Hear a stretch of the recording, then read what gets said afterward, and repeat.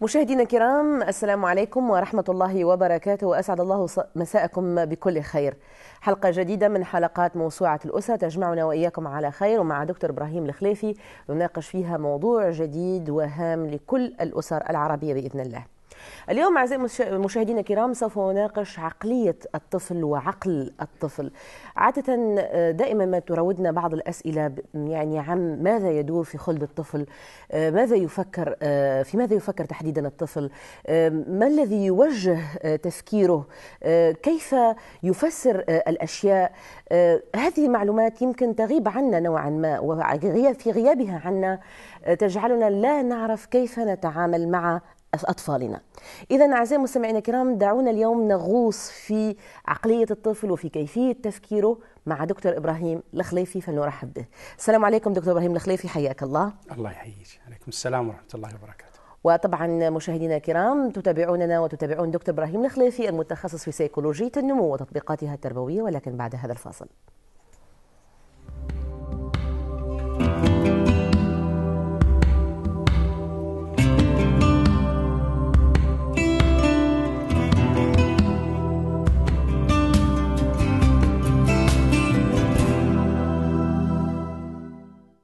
أهلا بحضراتكم من جديد مشاهدينا الكرام مباشرة مع دكتور إبراهيم الخليفي دكتور إبراهيم يعني تركيبه عقل الطفل أكيد فيها الكثير من الخفايا الذي لا نعرفه ولا نعلمه نحن الآباء بل تعلمونه أنتم حضراتكم المتخصصين أكثر.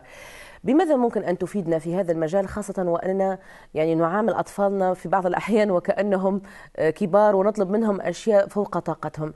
فيا ريت لو تنورنا في هذا الجانب لو سمحت. بسم الله الرحمن الرحيم. الحمد لله رب العالمين والصلاة والسلام على سيدنا محمد وعلى آله وصحبه أجمعين. الطفل مخلوق خارق للعادة باعتبار أن الطفل يولد قويا ثم يتضعضع. وينزل مستواه. نعم. عند ولادته يكون في أشده في كماله في أحسن تقويم كما قال الله سبحانه وتعالى. فالتحدي أن نحفظه في أحسن تقويم لكن للأسف الشديد أحيانا الممارسات البيئية تنحط به إلى يعني إلى إلى أسفل إلى أسفل. نعم. آه هذا العقل الجبار الذي خلقه رب العالمين آه يملك مجموعة من القوى.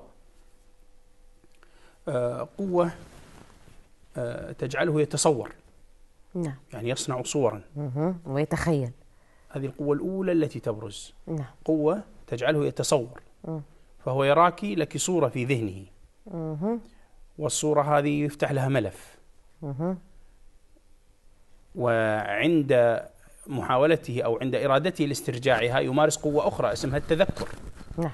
زين الطفل أيضا يقوم فيقارن الأشياء. هذه قوة ثالثة. نعم. الطفل أيضا يركب فيبدع مم. شيئا من شيء عرفه. يعني ممكن أن, أن, أن يخرج شيئا جديدا. من مجموعة معارف عرفها فيطلع أشياء جديدة وإضافات ما يسمى بالإبداع. أو التركيب. نعم. قدرات الطفل لما جاء وكسلر يشوف لنا كم نوع كم أنواع الذكاءات اللي عند الطفل.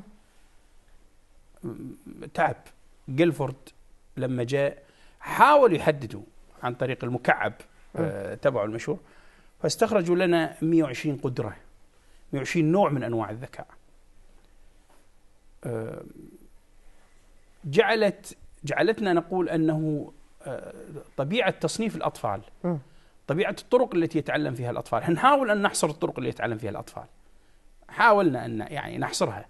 لكن تجعلنا نقول أن كل إنسان منا هو فرد آه، مختص بذاته آه، لو أحسنت بيئته أن تكون ذكية. إحنا دائما نقول أن الذكاء هو مسؤولية البيئة يعني الذي نصفه بالذكاء هو البيئة.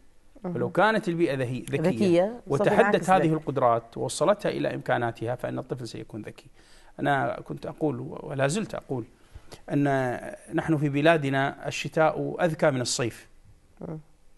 شتاؤنا أذكى من صيفنا لأن في شتائنا هناك مدارس هناك هناك واجبات هناك تحدي لعقول الصغار بسبب ضرورات التعليم اللي هي المدرسة نعم. أو الجامعات أو كذا لكن عندما يأتي الصيف يسكن ذكاء البيئة فيسكن ذكاء الفرد تقل التحديات مم. فالولد يبدأ إيش يصدي حتى يضطر المعلم في شهر سبتمبر بعد نصف سبتمبر إلى أوائل أكتوبر إلى أن يزيل هذا الصدأ عن طريق المنشطات وعن طريق يعني يكون دائما أول تقريبا كم أسبوع في العام الدراسي هو محاولات لإزالة الصدأ الذي ترسب خلال الصيف على ذكاءات الأطفال والتخلف الذي نسافر لكن لا نجعل من هذا السفر تحديا لذكاء أبنائنا. إي والله. تصوري نعم. فأنا بعتقد أنه ليش قلت لك أن الطفل خلاق والطفل. عنده قدرة هائلة. وخلق عجيب غريب لكن للأسف الشديد الهدر الذي يحصل في هذه الطاقات هدر كبير.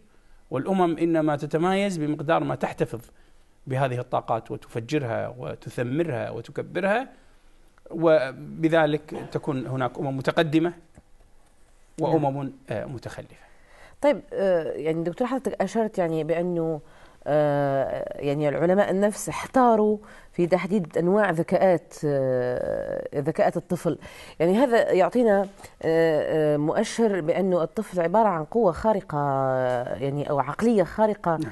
آه، للعادة في بعض الأحيان ولذلك نسمع من وقت لاخر بأن هناك طفل آه، أنجز مثلا عمليات حسابية في في وقت وجيز هناك طفل مثلا نعم. حفظ القرآن الكريم بسرعة هناك نعم. يعني آه، آه، هذه هذه آه، آه، الأشياء الخارجة عن آه، خلينا- إذا قلنا مثلا طفل خارق للعادة مثلا.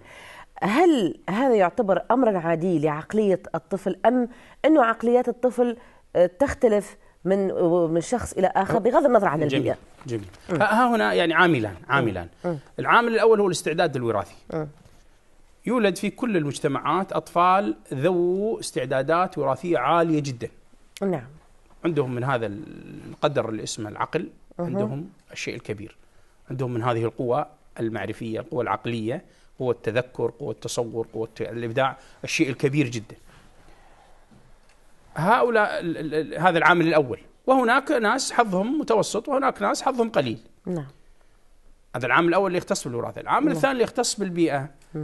هو أن هناك بيئات حافزة لا تضيع شيئا من أقدار هذه القوة، كل قدر من هذه القوة توظفه تفجره، أعطينا أمثلة لو تجي الأم تجي الأم وتتحدى ابنها باسئله معينة بمعارف معينة بألعاب معينة تنمي ذكاءه تزيد من قدراته تزيد من مفرداته اللغوية تزيد من معارفه. تكثر له الأسئلة ال- ال- أسئلة ال- التسالي أو تمكنه من أن يعلمها تقرأ له ثم تتركه يخبرها بما قرأت له ما قرأته له. لا تذر من هذه القدرة شيئا يمكن أن يستغل إلا واستغلته واستثمرته. فإن عجزت عن ذلك أتت له بمن؟ يعني يتحداه أكثر. جهزت له من الألعاب ومن ال ال ال ال الكتب ومن الإمكانات ما يفجر طاقاته. هذه البيئة.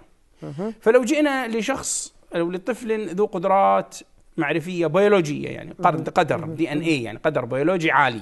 نعم.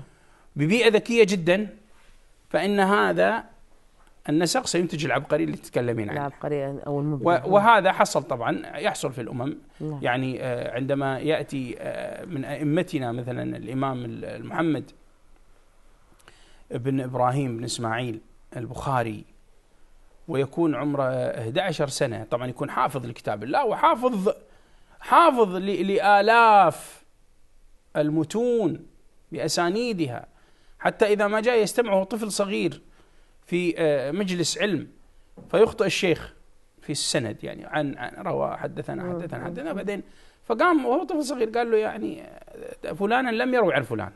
فقال له صح يا غلام اس اسكت يا ولد. فقال يا شيخ إن فلانا لم يروي عن فلان تصور طفل عمره 11 سنة يحدث شيخ يقول له فلان لم يروي عن فلان. قال له صح يا غلام زجرة. نعم. وفي الثالثة قال له الغلام يقول له الغلام البخاري لما كان صغير يا شيخ لو انصفتني فرجعت إلى كراستك يعني أنا ما أطلب شيء ارجع لكراستك. فالشيخ قام ورجع الكراسة وخرج وقال صدق الغلام. هذه قصة حقيقية يعني نرويها في في في في سيرة الإمام البخاري عمره 11 سنة يحاجج العلماء الكبار. لما؟ لأن صار القدر البيولوجي موجود وصارت الأم الأم لأن الإمام الغزالي ربته أم الإمام العفو البخاري. وكذلك الإمام الغزالي أبو حامد أحمد بن محمد. الغزالي كان أيضا من عباقرة زمانه ولكن لقى بيئة تهتم به. زين؟ وقس على ذلك. طبعا إحنا نشوف آه، يعني نرى أطفالا ذو قدرات بيولوجية عالية وجاءت البيئة فوظفت هذه القدرات واستثمرتها. ها. لكن أحيانا في ناس ذو قدرات متوسطة وتأتي بيئة ذكية جدا. فتحصل يعني تجيب العقل إلى منتهى. فينافس صاحب هذا القد القد العقل المتوسط ينافس بما زودته به البيئة وتحدته بالبيئة ينافس الجهابذة الذين لم يتح لهم. برغم انه إنه هو متوسط الذكاء لكن البيئه بيئة إيه، ذكية. يعني ذكاءه معقول. نعم. لكن بيئته ذكية فتتحداه توصله إلى حده في حين أن هناك بيئة عندها ابن أو أسرة عندها ابن ذكاؤه عالي. نعم. ولكن غير مهتم به فتشوف ينحط بذكائه ليصبح أداء عادي. ولذلك نرى دكتور إبراهيم الخليفي يعني أن هناك بعض المجتمعات يعني بدون ما نذكرهم يعني تحديدا بالاسم أو بعض البلدان معروف بأن آه، يعني آه، ينعتون بالغباء إذا جاز التعبير. بيئة. إيه يعني بعض لا الشعوب لا شأن يعني. للوراثة معروف هذا الشعب يعني لا ذكاء له. لأنه اختار. اختار أن ينزل في في المستوى في المستوى المستوى يعني العقلية مستوى الفكر مستوى التصورات إلى إلى الحضيض. يعني لو كان لو كانت هذه هذه الشعوب توفرت لديها البيئة الذكية ما لم ما, ما كانت لو تبنينا لو تبني أطفال من هذه البيئة وانتقلوا إلى بيئات أذكى عمليات التبني اللي تحصل. نعم. يعني يتهم طبعا آه، جنوب الكرة الأرضية بأنه أغبى من شمالها. هذه نظرية نظرة عنصرية. نعم. حملها التكشفيون فترة اللي هم يعني أصحاب الجينيسيس أو أصحاب نظرية آه، أنه العرق. التعويل م. على العرق وتعويل م. على م. على البيولوجيا فكانوا يقولون أنه مثلا الأفارقة والأسيويين آه، أنا أنا يعجبني كان أستاذنا مهرنز آه لما كنا في الدراسات العليا سوى بحث وبحث دقيق والرجل هذا يعني عالم وكان من نتائجه أن نتائجه طبعا هو مشهور في الغرب مثلا أن أذكى من في أمريكا هم اليهود. ثم البيض آه، ال WASP اللي هم ال white آه، آه، ال white نسي أجيبها لك ها؟ زين. ثم بعد ذلك السود ثم الشيكانو زين؟ والأجناس الأخرى اللي هم الحمر. الشيكانو اللي هم المكسيكان. مم. هذا الرجل في بحثه أثبت مم. أنه ثالث فئة في الذكاء هم اليهود، أنا كنت موجود في المحاضرة وصارت ضجة كبيرة. وثاني في ال top ثاني ناس في ال top هم الآسيويين. هم الآسيويون. الكوريون والصينيون واليابانيون الموجودون المهاجرون في درس المهاجرين. نعم. وتستغربي مين رقم واحد في الذكاء الخارق بال statistics العرب.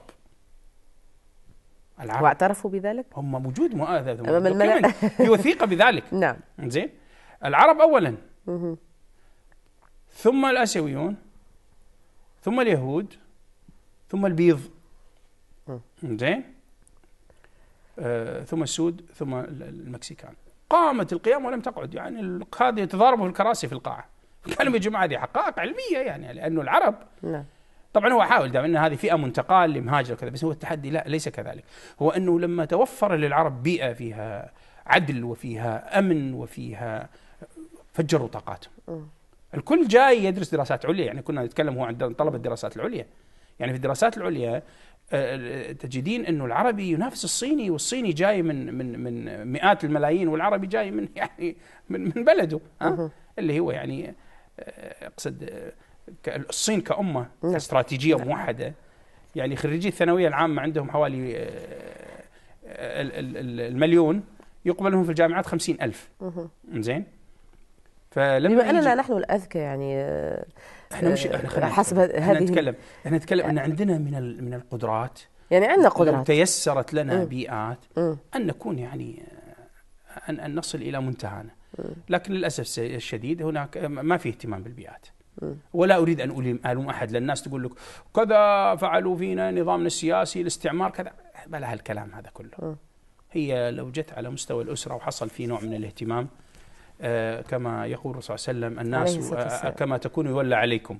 لو اهتمينا بالأسرة واهتمينا بهال الورشات الصغيرة نعم. اللي هي الأسر والفصول الدراسية وكل واحد منا وقف الملامة وبدأ يهتم بدوره وتنمية العقول الصغيرة اللي عنده فاننا يعني آه، طب خلينا في الأسرة شيئا.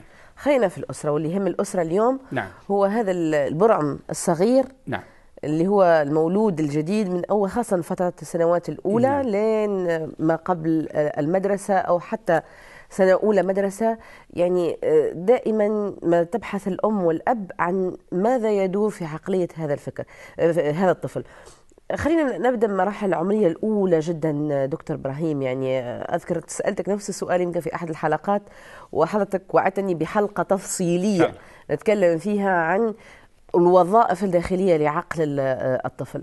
الفترة الأولى دكتور إبراهيم اللي هي من آه، من صفر يعني من يوم الولادة لين سنة أو سنتين الطفل ما الذي يدور في ذهنه العالم الداخلي.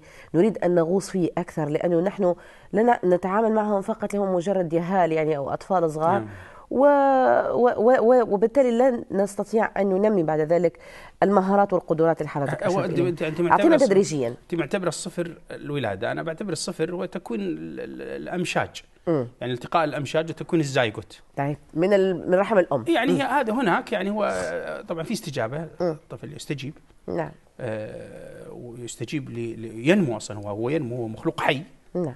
آه، وينمو يستجيب ويستجيب للضوء ويستجيب للحركة ويستجيب حتى لانفعالات الأم ويرتفع آه، دقات قلبه وتنخفض بمقدار المؤثرات اللي تطرأ نعم. آه، في بيئته أو في بيئة أمه يتأثر.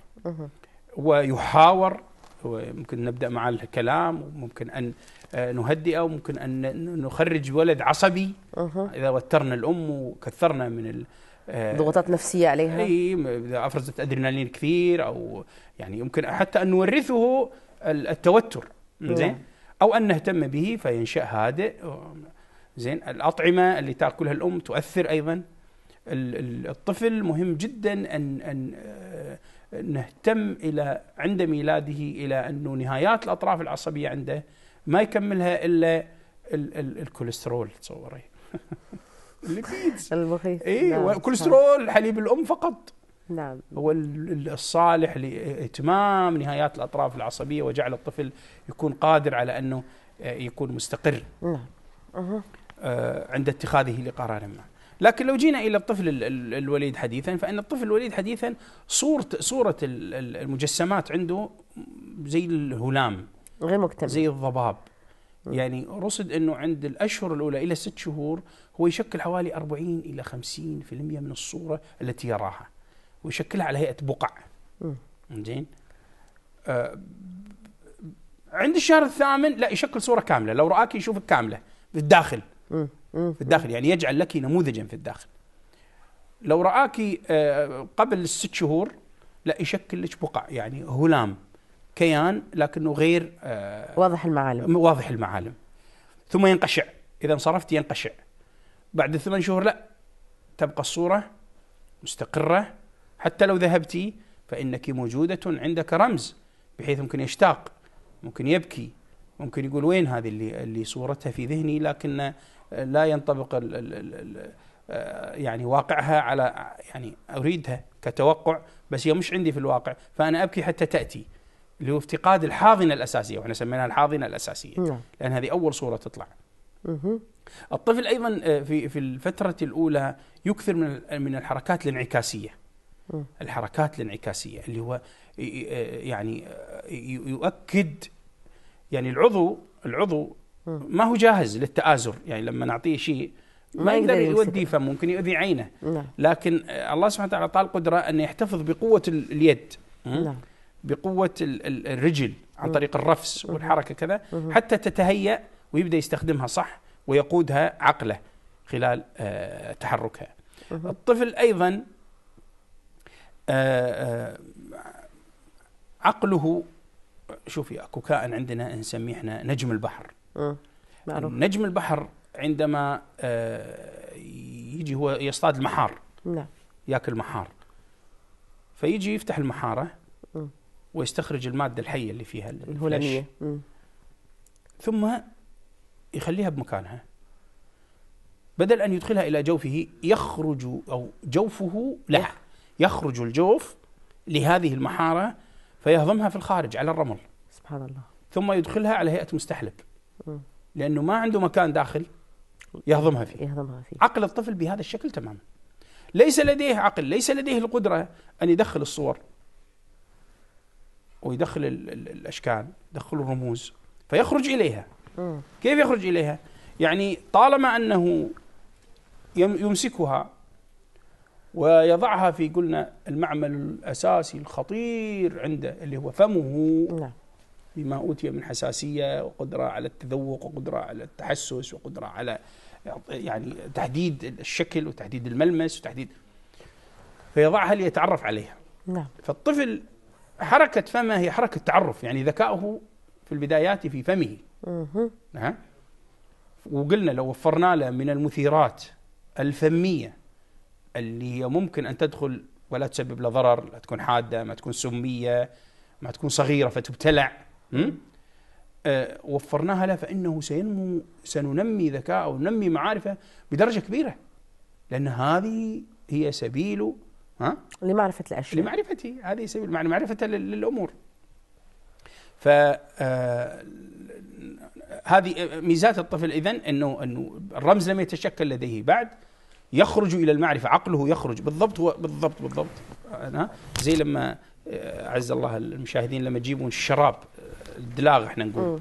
وتخلعيه مستعجلة. جوارب فيخرج ها نعم. ظاهره ينقلب يصير باطنا باطنة. هو بالضبط عقل الطفل كذي يعني يخرج معرفته إلى الأشياء. يخرج يلتق- عقله إلى الأشياء. مم. فتتعرف عليها في الخارج. إذا دخل العقل للداخل تختفي المعرفة. مم. يعني عندما بمعنى أنه لو راح لو راح المثير لو ذهب المثير تنتهي المعرفة. اعطي أنا بس أضرب مثال. أنا كان عندي بنت صغيرة وكانت أمها تركتها عندي كبيبي ستر وراحت. وكانت دون ست شهور. وكان جالس أنا أقرأ على السرير ومخليها عندي تلعب تحت يعني تعبث جهة يعني. جهة رجلي أو كذا تلعب ما أعطيها العب نعم. فلفت انتباهها عند رأسي منبه. نعم. منبه حاجة كذا ملونة عاملة زي. فكانت تبي تحبو هي تريد أن تصل لهذا المنبه. فتزعجني. وأنا خاف تمسك المنبه يعني تعور حالها ولا يطيح منها ولا. فإيش أعمل؟ لأني أعرف أن الطفل لا يستبطن لا يستبطن ما يراه. ما دام قدامه هو يعرفه. من يبتعد؟ ينساه ينتهي. فرحت جبت قطعة فوطة صغيرة. وغطيت بها المنبه. ورميت على المنبه. فالتفتت كذا بدهشة ثم عادت تلعب في مكانها. إحنا كنا جايين أذكر كنا جايين إجازة كنت أدرس الد- الدراسات الدكتوراه. جلسنا شهرين فهذه الحدا- الحكاية حصلت أول أول ما جينا. آخر ما جينا تكررت نفس الحركة. دخلت أمها عندي وقعدت أنا في مكاني أقرأ وهي تلعب فشافت المنبه. فراحت له. كانما تراه لأول مرة. نعم. وجت عايزة يعني تصعد عليه عشان تروح له. وأنا أحاول أمنعها. فجيت لحيلتي القديمة. حطت فوطة. حطيت الفوطة. لكن لم تنطلي عليه لم تتوقف. كبرت لما لأنه تجاوزت مرحلة أن الصورة تكون تنقشع. مم. خلاص أصبحت الصورة ثابتة لأن صار عمرها ثمان شهور. مم. فثبتت الصورة وتوجهت وأزالت الفوطة واستخرجت المنبه مرة أخرى. عرفت ان ما لي حيلة أنا خلاص. هذه هذه بالمناسبه هي مشكلتنا مع الأطفال. إنه عندما تكبر عقولهم مم. فيسألون الأسئلة المحرجة. أو يقفون المواقف المحرجة أو يقول لك اقنعني فشفنا العناد العناد يا ستي ما يسمى بالعناد. هو سؤال مهم يسأله الطفل يقول لك فهمني. مم. أنت تبيني أعمل كذا ليش؟ لوريا عالم روسي. نعم. لوريا عالم روسي. نعم نعم. لاحظ إنه في الحضانات اللي الأطفال اللي اعمارهم سنتين ونص ثلاثة لا يكتفون بأن يقال لهم افعل أو لا تفعل. لابد من أن يأتي من علمهم فيعمل لهم حركة عملية. يقول له مثلا ارفع إيدك ويرفع المعلم يده. أو يقول له اضرب برجلك ويضرب المعلم رجله. أو يقول له مثلا ماش عايز أحد يتكلم أرجوكم أرجوكم صمتا صمتا صمتا. شوف شوف. لأنه وجد أن الأطفال لا يكتفون بمجرد التوجيه دون أن أنت أنت تعيش معاهم الحدث. تعيشهم الحدث. صحيح صحيح. ال- اللي بقول أنه آه نعم هو هو طفل يتشكل. آه طفل برعم زي ما قلتي لي زي ما ما وصفتيه. علينا أن ندرك آه هذه التفاصيل. إحنا قلنا نتكلم عن تفاصيل السنة الأولى. إيه إيه. بعد السنة الأولى. بعد السنة الأولى تطور يتكاثف الرمز عاد. يبدأ الألبوم مال الرموز يزداد. والصور في. ذهنه عند السن 13 شهرا يبدأ مدلولات الرموز تطلع فتطلع الكلمة الأولى. ذات المعنى. الطفل ممكن قبل ذلك يقول كلمات عشوائية لا معنى لها با تا ثا عدل لا معنى لها هي إنما حسب يسر مخارجها. لكن عندما يقول بابا يعني رجل عندما يقول ماما يعني امرأة عندما يقول دود أو حسب ما نعرف إيش. يعني حليب. نعم لا يمكن دا هذا- هذه هندية نعم. اللي, اللي دايرة بالها عليه. زين ها؟ نعم. أو هم أو يم يبدأ الكلمة التي يقولها لها معنى. نعم. فهو يعبر عن الرموز التي في ذهنه. ثم يتنامى عدد الرموز. مم. يتنامى عدد الرموز. يكتظ ال- العقل. يبدأ خلاص تبدأ عدد المسائل تبدأ تزيد الرموز. مم. وقدرته على التعبير عنها تزداد. مم. حتى يصل الأمر إلى حد الاكتظاظ. مم. وتبدأ تصير حوادث حوادث اصطدام. نعم. فيبدأ الولد الطفل يصير عنده حيرة يصير عنده حيرة لأن لا قدرة له أن يؤرشف أن يصنف أن يحط في فايلات. قدرته ضعيفة. يعني قدرته على وضع هذه المعلومات في فايلات ضعيفة. فيصير عنده نوع من القلق. سببه كثافة المعلومات. وقلة قدرته على تصنيفها بشكل مفيد طب خلينا نقف عند هذه الجزئية نعم. الآن دكتور إبراهيم ال- البيئة أين دورها الآن؟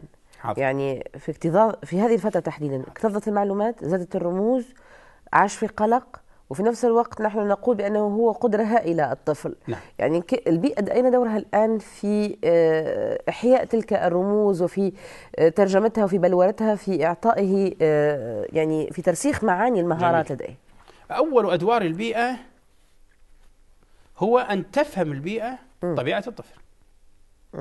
فلا تلوم الأم بالغباء أو تصفه بالغباء أو تصفه بالعناد إذا تلكأ في إدراك مفهوم ما هو شو اللي يحصل يكون الطفل مستوعب بموقف معين.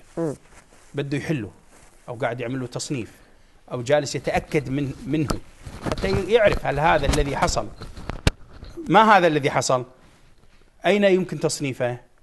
أين يمكن أرشفته؟ الأم تكون مستعجلة. تقول له مثلا عادة إحنا لما نقول له إلبس إلبس حبيبي ضع الحذاء الأيمن بالرجل اليمنى والأيسر بالرجل اليسرى. هو ما مش معك ولا يعرف إيش يمنى ويسرى. وبالنسبة له ينظر إليك لأنك أنت بالنسبة له صورة مرآة. فيضع اليسرى باليمنى واليمنى باليسرى ويعني يرتكب ما تظنين أن حماقات في حين أنه هو قصور في ذهنه. يعني ممن, ممن أضاف للمعرفة في مجال عقل الطفل واحد اسمه جان بياجي. جون بياجيه. جان بياجيه هذا سويسري. كتب عنه وحوله وحول إنجازه حوالي أربعين ألف بحث. تصوري. من كثر ما هو لأنه إيش عمل؟ هو جاء للأطفال وجلس معهم. بأعمار مختلفة. جلس معهم. وسألهم. حاورهم.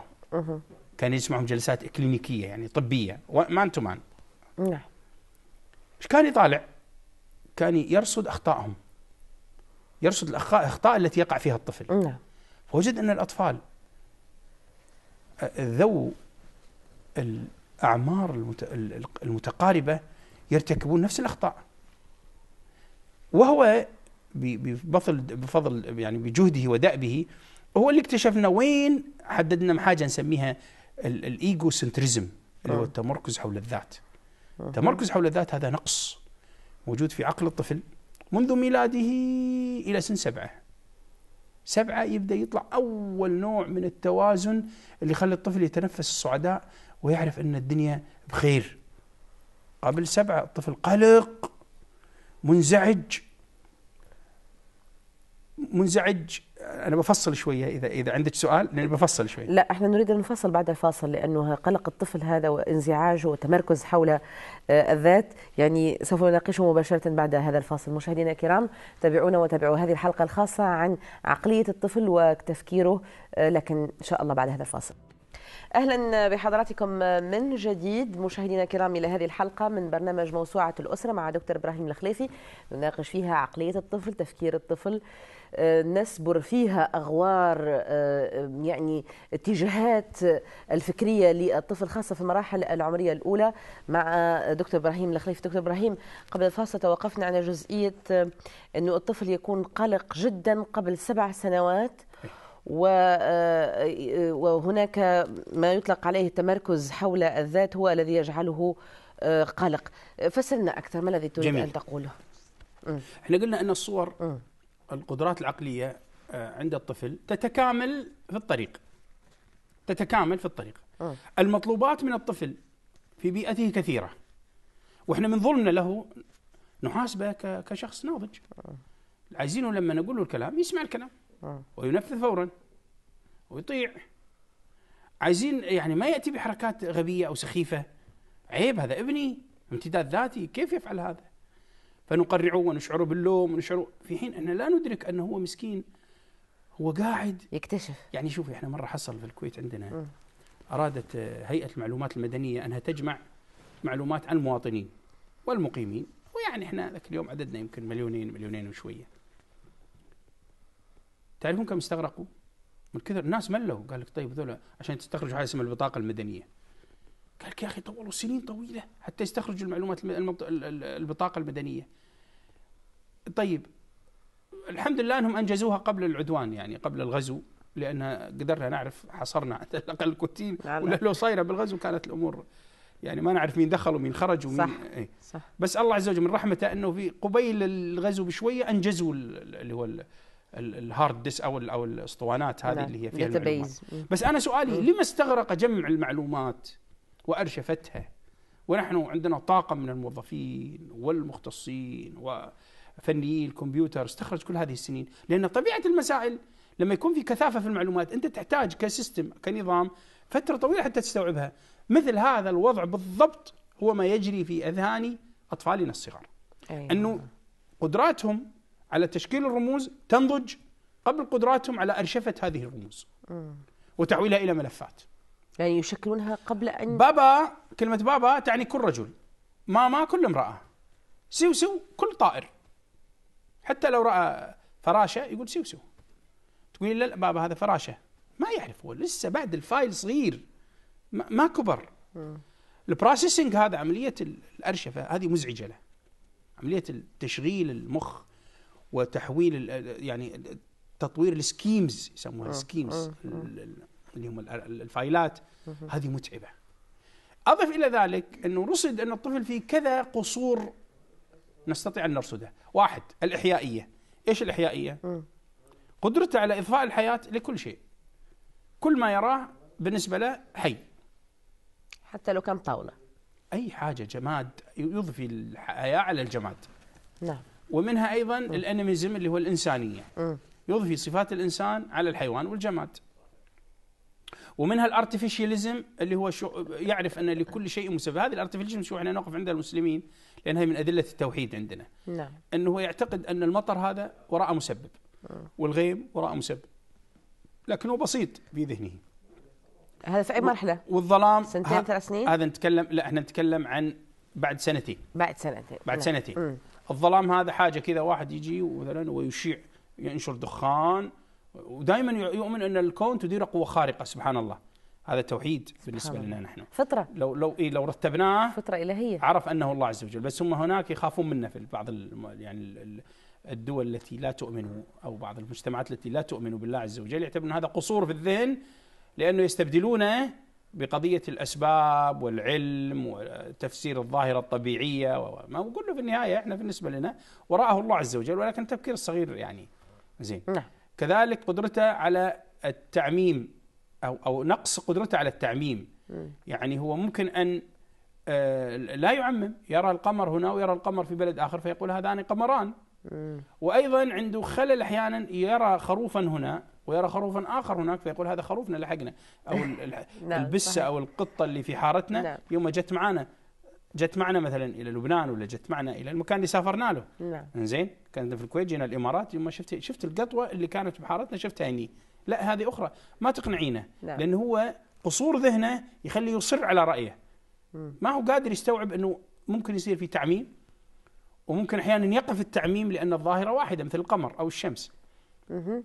زين نتقبل نحن ذلك دكتور؟ علينا أن نتقبل ذلك أم؟ المشكلة المشكلة أن إحنا الذي صدورنا علينا فعله؟ ما الذي علينا إحنا فعله؟ مشكلتنا أن صدورنا تضيق علينا أن نتقبل ذلك طبعا. نتقبل قصور الذهن إيه. أو نناقشه. أنا والله دائما أعيد له السؤال مم. إذا سألني سؤال أقول له أنت إيش رأيك؟ بدي أشوف إيش عنده حلو. حتى أبني عليه. إع- إعادة رد السؤال هذه اي حتى أبني عليه. مم. بدل أن أدخل معه في شكل وكأنه متحديني لا أقول له أنت إيش رأيك؟ أنا بعرف منك. أنت قول لي. إذا قال والله هذا القط نفس القط اللي عندنا أقول له ممكن تصور. ممكن ممكن تعرف إنه ركب معنا الطيارة وجهنا. يضحك هو طبعا. وأخذ فيزا بعد. إيه، يضحك لكن هو نعم. ما زالت المسألة. ما ما يعني صعب إنك تقول له بس تقول له شوف حنشوف إنه في مثلا الله سبحانه وتعالى خلق قطط وجعل مثل مثل زي زي بعض. وتبي نتأكد خلينا نحط مثلا عليه إشارة وإذا رحنا الكويت نشوف عليه إشارة ولا لا. زين؟ يعني يعني ممكن أنا معه- بالك على الآخر يعني. طول بالي واخليه ياخذ راحته في إزالة القلق. والطفل ما ينتظرنا للأسف. مشكلتنا إحنا أحيانا نحن نزيد عليه القلق إي والله صح بإصرارنا وصراخنا و... تعرفين هو كيف يزيل القلق؟ كيف عن طريق اللعب الهادئ ليش قلنا الذكي مم. يستغرق وقتا أكثر؟ هذا محور جايين عليه بعد قليل اللعب الذكي نعم لأن هو هي باسيفايز يعني هو هو يهدئ نفسه مم. ويجيب أسئلته عن طريق اللعب يعني مثال. لو أمه وأبوه تضاربوا أنت تقولوا أنت تقولوا تضاربوا وإحنا نقول تخانقوا أو نعم. اختلفوا أو. تشاجروا. هو سيلوم نفسه أبو ثلاث سنوات سيلوم نفسه سيعتقد إنه هو السبب. حتى لو لو لو لو, لو لم يقولا أنه والله لولا الاولاد والله ما جلست في بيتك دقيقة نعم أحيانا تقول الأم كذا والله. لولا الأولاد والله ما جلس عندك كذا فيعتبر إنه هو السبب لكن لنفترض انه ما لم يقول ذلك هو طبيعته طبيعته أنه ذاته ضخمة فيجذب إليه المشاكل. هو يعني يعتقد أنه هو الآن هو محور الحدث. نعم. يعني أكيد بسببي فإيش يعمل؟ وجدوا أن الأطفال اللي بالشكل هذا يروحوا يلعبوا ألعاب إيهامية. يلعب أدوار. يعني لما يكون عمره أربع سنين خمس سنين ثلاث سنين يروح يتصور نفسه أب. نعم. أنت اجلسي واستمعي لأبنك وهو يحاور نفسه. إذا جلس وانهمك. ثم آه تسمعيه يحاور نفسه. ثم بدأ يتكلم. مم. تسمعين ردة كلامك أحيانا. وليش عملت كذا؟ ويقول يقول مرة يقوم بدور أمه صح. ومرة يقوم بدور أبي. إيش؟ ابيه نعم. ومرة كذا وتشوفينه يشد. مم. وربما أفصح عن وجهة نظره فيما يجري. وقال لا أنت غلطان كذا كذا كذا. ربما صار زي الببغاء. زي المسجل يروي يكرر بينه وبين نفسه. لو عرف أنك تستمعين سينتهي وسيقف. نعم. لكن اجلسوا إلى أولاد اعرفوا هو قاعد يعالج نفسه بنفسه. قاعد يزيل غموض الحدث عن طريق اللعب الإيهامي. طيب. وأحيانا يزيل عن طريق اللعب الاجتماعي. يعني في احدى الباحثات لها كتاب رصدت أن طفلة معينة كل ما جت دكتورة هي عراقية تقول كلما جيت أصعد إلى إلى شقتي وجدت اطفال يلعبوا وطفله منهم تلعب دور الطفل الوليد. تجلس كذا وتخليهم يلبسوها ويحفظوها ويعملوا لها. طبعا كله لعب إحنا نسميه بروي لعب إيهامي. نعم. فجت شكت قالت البنت هذه ما تلعب هالدور اللي عندها فيه عندها مشكلة. في مخها مو قادرة تحلها فهي تحلها عن طريق اللعب لعب اللعب الإيهامي هذا أو اللعب الاجتماعي. راحت سألت فوجدت إن الأم أمها رزقت بمولود جديد ومنهمكة معه و- وناسية البنت والبنت حاولت تلفت انتباه الأم أكثر من مرة فما نجحت فراحت عالجت نفسها باللعب. البنت تعالج نفسها بنفسها. أطفالنا يلجؤون إلى إزالة هذا الغموض وإزالة هذه الحيرة عن طريق اللعب. جميل جدا. طيب إحنا سوف نأتي موضوع اللعب آه، آه، بش- بشيء من التفصيل أكثر حقيقة دكتور يعني لأنه موضوع اللعب آه، أكيد أيضا يكشف لنا جانب آخر من جوانب ال- العقلية لأبنائنا نعم. وطريقة تفكيرهم غير إنه هو طبعا يعالج نفسه عن طريق اللعب عد بنا مرة أخرى معلش دكتور سوف أعود بحضرتك مرة أخرى إلى السنوات العمرية الأولى إحنا كملنا يمكن تقريبا من سنة لين سنتين أعطيتنا فكرة الرموز وعدم آه، آه، قدرة على آه، أرشفة تلك آه، الرموز زين من ثلاث سنوات إلى أربع سنوات آه، آه، كيف يكون عقلية الطفل في هذه في المرحلة؟ أرشفة مبدئية. وفي أجوبة مبدئية. نسميه إحنا الحدس أو الحروة. ربعنا في الخليج يسمونها الحروة نعم أو الحدس أو ال intuition. شنو يعني ال intuition؟ يعني تسألين السؤال ممكن يجيب بس إجابة بالنسبة لك مضحكة بالنسبة له مقنعة مثلا عنده قريبه انكسرت إيده مم. وبعدين جاءكم يوم من الأيام وهو مزكوم نعم فقالت له آه، ها سلامات سلامات كذا سلامات أنت بتقولي سلامات عن الزكام وعن إيده وبعدين بكرة تجي تحكي مثلا أنت وزوجك عن خال الولد مثلا هذا اللي هو أخوك اللي فتقول أبشرك فلان الحمد لله قام بالسلامة ووين ينصرف ذهنه؟ إلى الزكام ولا إلى اليد؟ اليد لسه مكسوره يعني عايز لها أسبوعين ثلاثة ما يحتفظ هو ما عنده قدرة يحتفظ بالظاهرة الفيزيائية والطبية ما يعرف إنه الجزء ال ال ال الاشد. فيما يعانيه خاله هو, اليد. اليد. مش الزكام. الزكام ما يطول. الزكام يومين وبتقوم بالسلامة. نعم. لكن اليد هي اللي تطول أسابيع. فلو قلت ترى فلان شوفي الحمد لله وراح للدوام.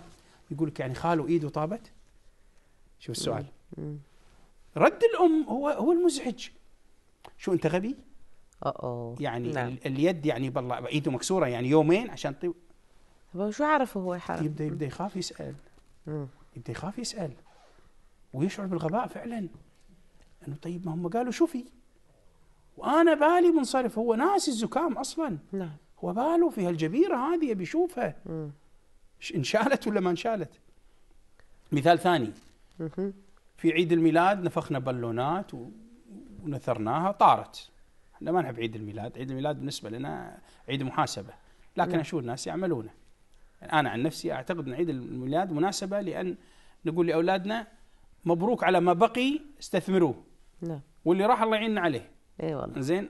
بس اللي جاي خلونا نستثمره. مبروك طالما أن عندك كم يوم الحق عليهم. مم. هذا بالنسبة لعيد الميلاد. نعم. مفهومنا يعني. مسابقة لل... للحصد وال... وال... وال... والزرع.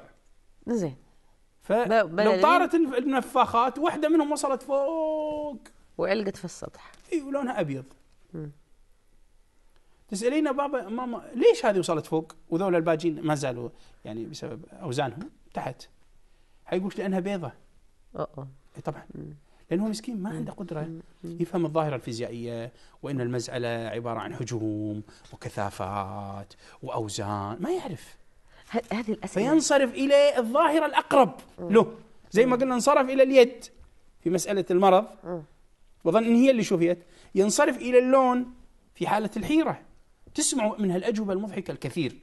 أبو ثلاث سنين أبو أربع سنين. ماذا علي أن أرد هنا في هذا المثال؟ أنا كأم. نقول له شوف الصفرة اللي جنبها ليش عالية؟ شايفه شوف هذه بيضة تحت. إيش رأيك؟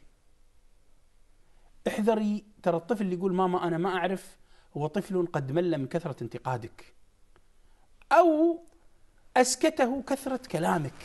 أو كلامك يا مم. يعني أنت تتكلم كثير فهو يبيك أنت تتكلم. يعني هو يلعب الدور اللي قلنا لك أنت العبه سأله عشان تسمع منه. هو يسألك يعني نرمي الكرة في ملعبه. ارمي الكرة في ملعبه. حيبدأ يفكر. حيقول لك آه، ماما عيل هذه ليش فوق؟ قولي له آه، فوق يمكن لأنها خفيفة أكثر. مهم. شوف اللي فيهم هواء أكثر يصيرون أخف. طبعا إيش رأيك؟ مين أثقل اللي ما اللي خليني أسألك أنت عشان أوريك أن الحيرة اللي في ذهنه هي في ذهنك. نعم. مين أثقل الكرة اللي البالون اللي فيها هواء أكثر ولا اللي فيها هواء أقل؟ أقل. مين أثقل؟ الأقل أثقل. لا مم. اللي فيها أكثر هي الأثقل نعم لأن وزنها زائد وزن الهواء نعم نعم. اذا ليش اللي فيها هواء أقل تنزل مم. واللي فيها هواء أكثر وزنها أكبر تصعد ليش؟ لأن القضية شوف انت وين رحتي انت وين رحتي عشان بس بالضبط رحت سبحان الله هو راح هو بالضبط إيه. هو هذا ما يجري في ذهن الصغير صحيح انت وين رحتي؟ رحتي إلى ظاهرة واحدة صحيح. اللي هي الوزن. ونسيت الظاهرة الثانية نعم اللي تحدد الارتفاعات واللي ترفع الطيارة اللي هي الكثافات قوة دفع الهواء إيه إيه والله يعني فيزياء ما- نفكر مثل الأطفال أيوه كده. مش كذا لا لا لا. لا. أنا بس براويك إيش هو ال egocentrism إنك أنت تجي وتنهمك بما أنت منشغل به وتفسر الظاهره على أساسه وتنسى إن في عوامل أخرى. مين أثقل كيلو قطن ولا كيلو حديد. أنت جاوبيني الآن. أنا مش حجاوبك الحين. خلي خلي نجاوب لك أنت. نعم. ويظل الطفل إلى سن 11 سنة وهو محتار في الظواهر. مثلا لكن السيارة- كل كل قطن هو أثقل دكتور بين قوسين يعني. نفس الشيء كله نفس الشيء. بس لو رويناهم لو رميناهم من فوق مين يوصل قبل؟ إيه طبعا لا القطن يوصل قبل. لا الحديد يوصل قبل.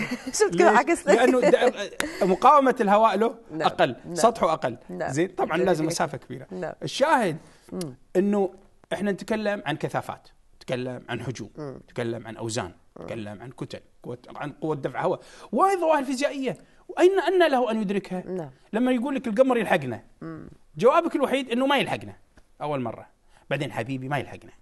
بعدين ثالث مرة. بعدين قلت لك ما يلحقنا خلاص هو ينشرب يعني هو بيسكت خلاص. بس يظل في ذهنه ان القمر يلحقنا لما أسألك أيضا أسأل الكبار أنا من باب العدالة أقول له طيب ليش هو القمر يلحقنا ولا ما يلحقنا؟ أنا برد عليك زي الأطفال الحين كل يعني ليش نشوفه يلحقنا؟ نعم والله أنا مرة سألت الكبار أسألهم دائما ليش القمر يلحقنا؟ نعم. اللي يقول لي لأن الكرة الأرضية تدور كلام يعني بينما هو يلحقنا لأن المسافة نصف القطر بينه وبينه متسع. لذلك لو تصورناها دائرة نعم? وإحنا في مركزها والقمر هناك يدور على محيطها. المسافة اللي مشيناها نعم. من موقع إلى موقع ما تخلينا نبتعد كثير على القطن عن عن عن عن الوتر عن ال عن المنطقة اللي فيها القمر. زين؟ يعني لو كان القمر قريب وأنا ابتعدت عنه حشوف إني ابتعدت عنه. بس لأنه بعيد أنا ابتعدت نفس المسافة. لكنه كونه فلكي. نقعد نفسر الأطفال يعني هذا التفسير. لا ولذلك إيه. أنا شو أقول لك؟ سليه السؤال. زين. انت إيش رايك؟ بعد ما قلت له انت إيش رايك وقال لي آه، رد بنفس ردودي أنا رديت فيها عليك انه هذا اثقل وهذا اخف. والقمر آه، القمر يتبعنا ومصر إنه هو يتبعنا أنا شو رد عليه؟ يتبعنا بالعكس هو يتبعنا ليش؟ لأن الله جعله سراجا لنا حتى ينور أيوه. هذا هو يعني ب- بمستوى عقله. اي وش راح ينبسط. وجوابك صحيح. ما كذبتي عليه أنت. والله سبحانه وتعالى خلاه يتبعنا حتى ينير لنا الطريق. لأن الله قال الله قال لنا ان بسوي لكم سراج يتبعكم. انتهى الموضوع. ليش ندخل في فيزياء؟ و... لسه بدري عليه. لأنه ما عنده القدرة. يعني هو الآن لا يعرف. لا شوفي. لو أعطيكم إحنا هذه النقص العقلي يونس. نعم. آه، حلو عايز عايز يشرب. يونس. يونس يونس يريحنا يعني أيوة. يريح اللي فاهم. لما يجي بيشرب مثلا بيشرب شوف شافنا. نشرب عصير في الليل وإحنا خايفين يشرب بعدين يصير عندنا مشاكل. يصير في تبول وغيره. أمطار أمطار.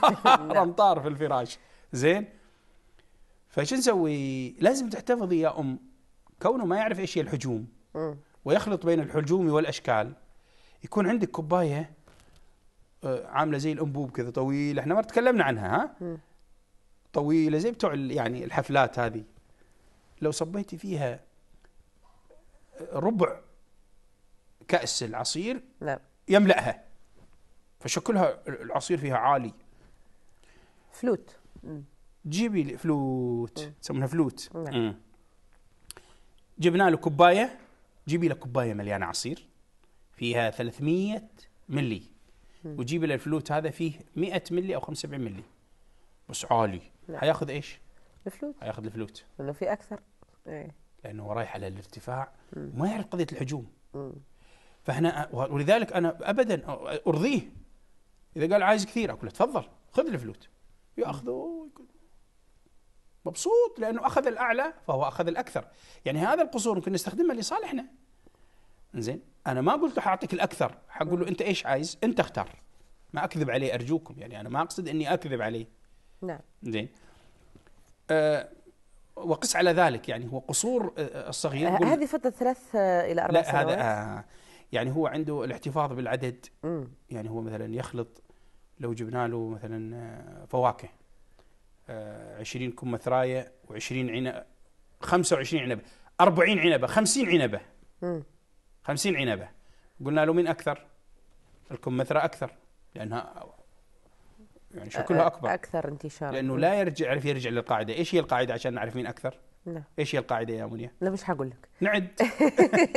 خفتي مش هرد خفتي عليك. زين نعد. نعم. واحد اثنين ثلاثة أربعة خمسة ستة لا. عشرين. هنا واحد اثنين ثلاثة خمسين. إذا الخمسين أكثر من العشرين وإن صغر الحجم. مم. تمام؟ هذا متى؟ أي سنة؟ هذا الآن نتكلم عن ثلاث سنوات. إيه. ثلاث سنوات آه، أربع سنوات. مم. أربع سنوات يعرف العدد والمعدود يعني بس مش بالعشرات يعرف بالآحاد إنزين؟ اللي هو الصف الأول روضة. نعم. آه، ممكن للبيئة الذكية أنه لا يعرف أكثر مهم. يعرف أكثر إلى فوق العشرة يعرف. تمام؟ آه، الأوزان طبعا تتأخر شوية.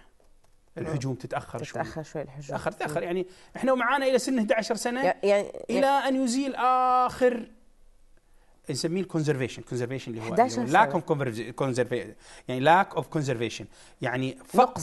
القدرة على الاختفاء الاحتفاظ بالقاعدة مم. بالقاعدة الفيزيائية.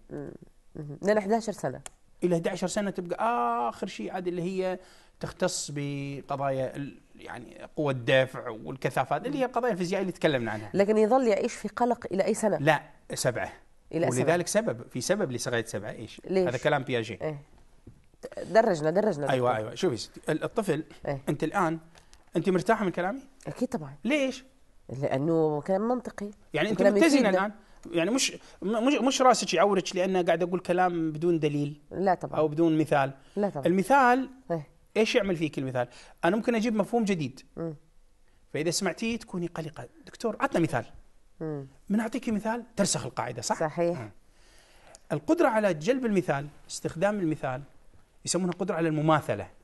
إيش هي المماثلة؟ مم. أو التمثيل زي التمثيل الضوئي. مهم. التمثيل الضوئي يجي الضوء يجيب مواد أولية يجي العيف النبات يجيب مواد أولية. نعم. ثاني أكسيد كربون مية ضوء الشمس ويصنع منهم شيء جديد اللي هو إيش؟ اللي هو النشا. نعم. تمام. الإنسان الطفل الصغير يعمل شيء من هذا. يجي علشان يفهم إن هذه كوباية. مم. هذه إيش؟ كوباية شكلها فلوت زي ما قلتي. تشبه إيش يا ترى؟ تشبه الكوباية اللي أشرب فيها الحليب الحليب. اذا هذه كوباية. كيف عرفت إن هذه الطويلة هذه كوباية؟ لأنها لها- نفس الخصائص تحتفظ بالسوائل. اذا هذه زي هذه اذا هذه كوباية. شوف هذه العملية اللي تصير. هذه نسميها مماثلة. صنع مفهوم جديد من مفهوم قديم عنده. يعني جميل. ربط قاس عليه. خبرة جديدة بخبرة سابقة عنده فارتاح. فقاس عليه. قاس عليه. نعم. ربط نسميها ربط الخبرة الجديدة بخبرة قديمة. جميل واضح. شاف العصفور سماه سيوسو شاف الفراشة سماها سيوسو. وريناه حمامة قال هذه سيوسو. هاي هذه إيش؟ نقول له هذه مثلا فراشة. فيقول زين هذه في في عندي سيوسو وعندي فراشة. أي شيء طائر حيضيفه إلى أرشيف الطائر يستخدم المماثلة عشان يربط الطيور بالطيور. والفراش والعث والنحل والكذا بالحشرات. صار عنده فايلين.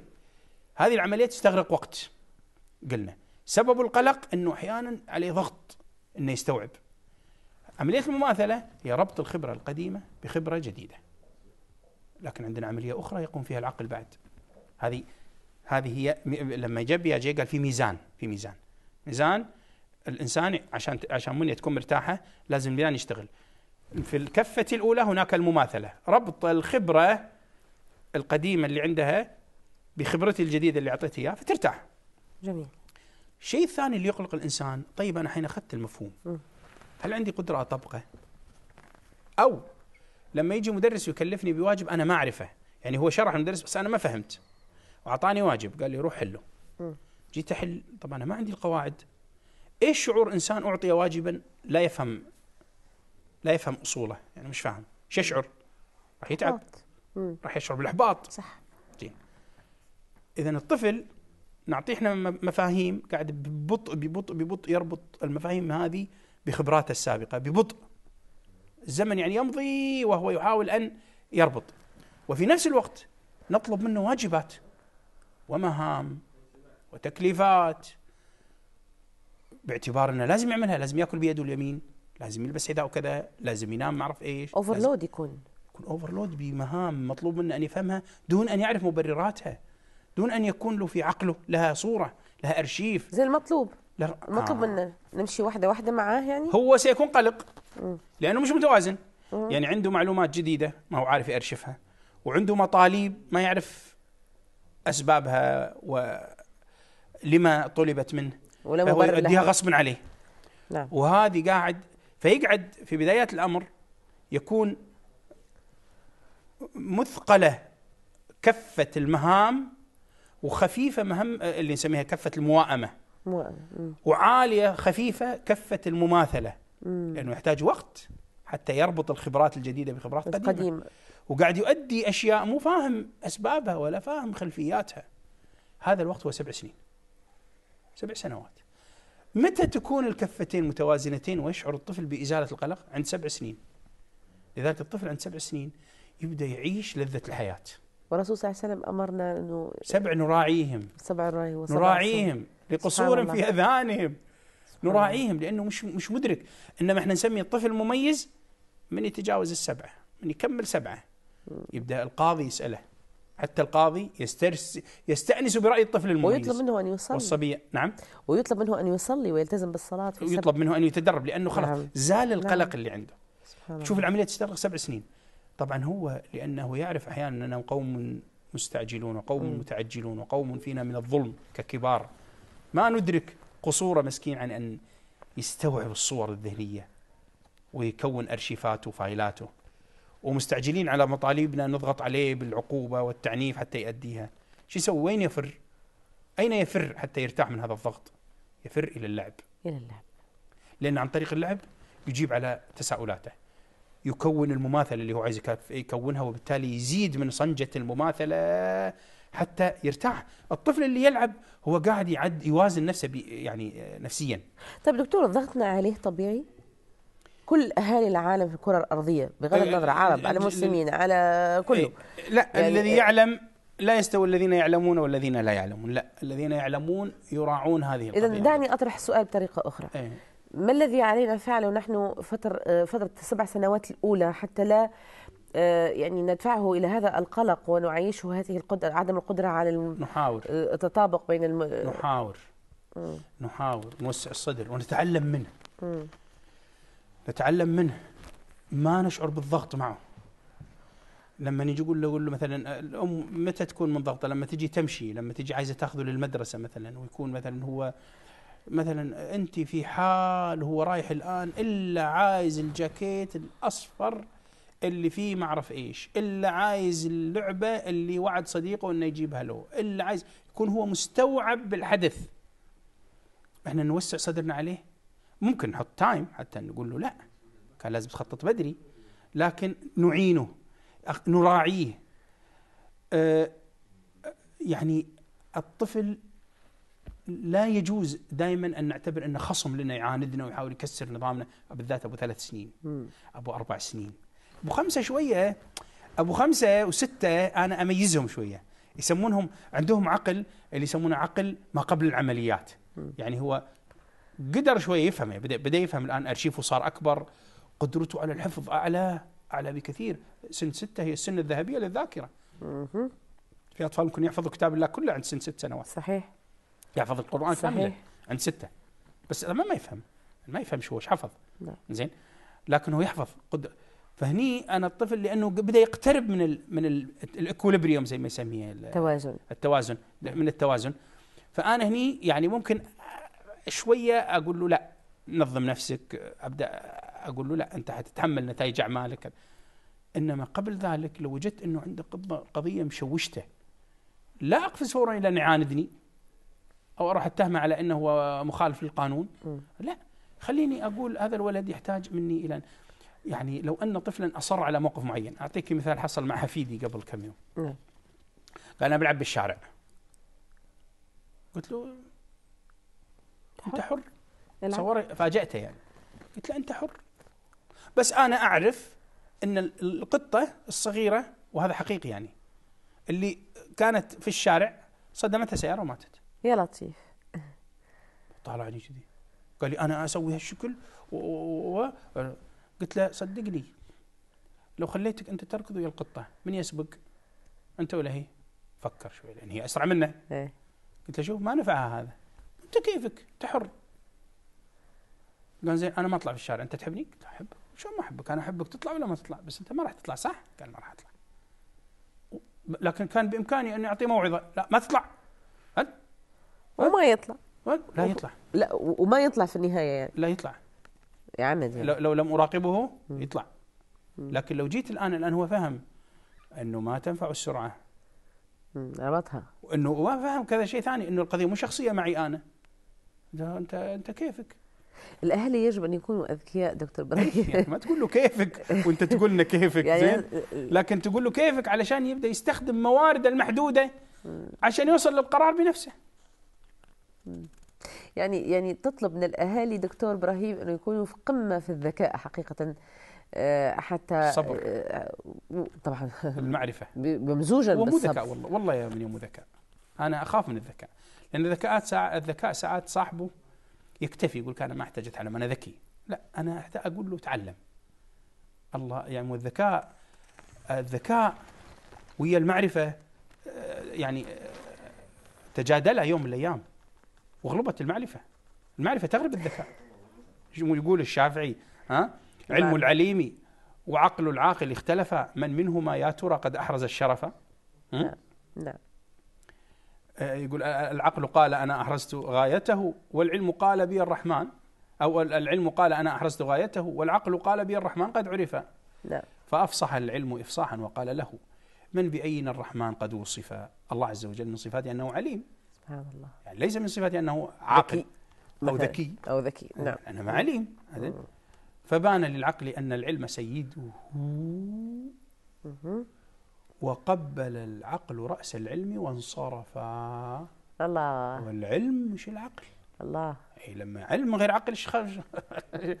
ما سوينا شيء. صحيح. إي، إنما هو المعرفة. لما أبي أقول أذكياء إحنا نكون نكون عارفين آه، ونكون متعلمين ونستخدم الموارد وإن شاء الله تعالى. ونحن نتمنى من خلال هذه هذا يرفع الحلقة. مستوى هذا اللي يرفع مستوى ونحن نتمنى من خلال هذه الحلقة يعني نكون سادة المشاهدين الكرام وسطهم صعبة شوي معلوماتها بس ما. لا بالعكس. يعينونا لا بالعكس يعني يعني- اللي يركز فيها إن شاء الله يعني مثل ما ركزت فيها أنا معك دكتور إبراهيم اليوم. عصرت مخي حتى أركز في كل كلمة من كلماتك لأنه فعلا آه، آه، أعتقد إنه آه، معرفتنا لعقل عقلية الطفل في هذه في مراحله الأولى تختصر علينا بعد ذلك مسافات كثير كبيرة في التربية يعني. بس لاحظت إنك عشتي نفسية الطفل مم. لما احترتي. في فهم الظاهرة. صحيح. هكذا. هو صحيح. هو, بالضبط هو هذه حيرته. وهذا الغموض مسبب له قلق. تصور لمدة. سبع سنين هو امبالانسد إلى أن يتكامل لما تبدأ العقل عاد يبدأ ال processing عنده أسرع التفييل عنده أسرع ال archiving عنده أسرع. زين ال schemes تتكامل. هنا يبدا يبدأ يفهم إيش تقولوا أنا فهمت الحين أنتم إيش تقولوا؟ سبع سنين وأنتم قاعدين تلجوا وأنا مش فاهم. طب- الآن فهمت. خلينا نأتي للعب المحور الأخير في حلقتنا اليوم. نعم.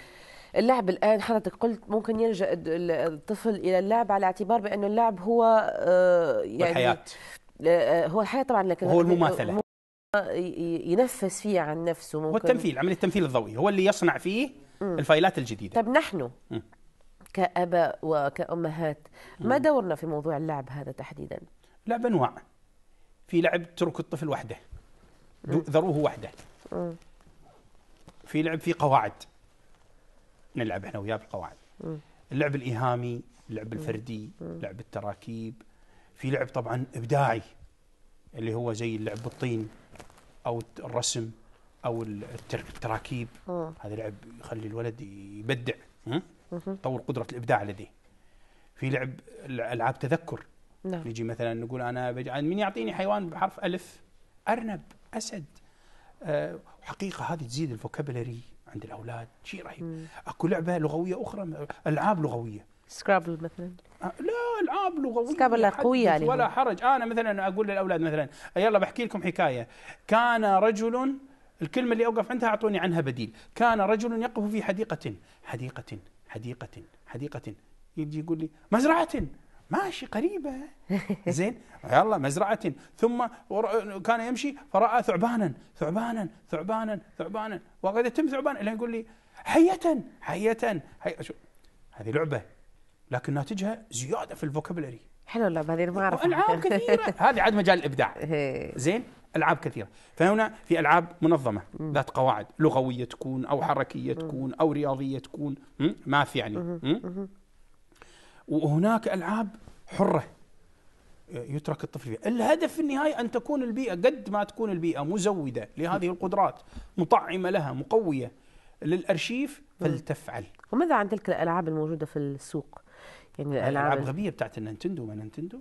لا لا لا أقصد الالعاب ال- الذكاء والالعاب المكعبات والكمبيوترات الخاصة بالأطفال و... كل كل لعبة أوان هذه كل لعبة أوان. مفيدة هذه يعني دكتور؟ الجنس ال- ال- الأعمار الأعلى أي عموما أمور اللعب تيسرت اليوم. طب يعني- كثرة الألعاب مم. مضرة للطفل أم كثرة يفترض الألعاب؟ أو ام نعطيه لا، لعبة مضرة. بلعبة؟ مضرة. مضرة أنا أذكر أنه آه، بنتاي الصغيرتان آه، آه، يعني أن أن بنتاي الصغيرتين زين آه، في يوم من الأيام قالت قالت لهم أمهم رتبوا الغرف ترى الغرفة مليانة ألعاب. فقالوا أصلا إحنا قالت لهم يلا إذا ما ترتبوها راح نتبرع بالألعاب إلى جهة خيرية. قالوا لها تبرعي. بالليل. إحنا أصلا عندنا ألعاب واجد. قالت لهم طيب كل ما يقع على الأرض ولا ترفعانه سأتبرع به. تصوري كان عندهم ألعاب كثيرة وكنت أنا يعني معترف على ذلك. تصوري فبدت. تلم الألعاب؟ تلم. إلى أن اشتكتا البنتين. قالوا طيب إحنا خلصت ألعابنا. قال هذا اتفاقنا. صدقيني وقتها عرفوا حسوا قيمة- اللعبة. بدأوا يحافظون على ألعابهم. إيه. لأن الكثرة تفسد. مم. الكثرة تفسد. فلا نرجع ولا نشتري لعبة إلا لها مناسبة لا نشتري اللعبه إلا بعد دراسة لا نشتري اللعبه إلا بعد مكافأة. يعني مو شرط مكافاه أحيانا ممكن مكافأة وأحيانا لا يكون لها مناسبة. يكون لها مناسبة وتكون لها قيمة وتكون لعبة مدروسة لها إضافة. يعني اللعب يعني أحد هو هو منشط حيوي. اللعب هو الحياة بالنسبة للطفل. فخلونا نمارسه بشكل متعقل مع اللعب نحن وصلنا إلى نهاية. نحن وصل دكتور إبراهيم الخليفي شكرا جزيلا لك.